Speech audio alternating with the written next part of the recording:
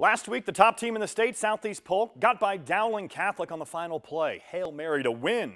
Rams get another big test in week two. Home again, taking on another team from West Des Moines, the Valley Tigers. First quarter, the Rams come out swinging. Jackson Daly swings it to Xavier Nwankpa, and look at number five. Whoop! And then another one.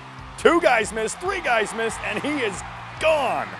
Wow, holy smokes. You can tell why he's being recruited by everyone. Seven zip Rams. More from SEP, Titus Christensen. Behind his offensive line, finds a hole, cuts back up the middle, 16 yards to the house. Rams up 13 zip and rolling, but they aren't done. More from Daly. Quick slant to Cole Falloon. Speed wins again, off to the races. He's gone. That makes it 23 zip. Southeast Polk improves to 2-0 on the season, 40-21 over Valley.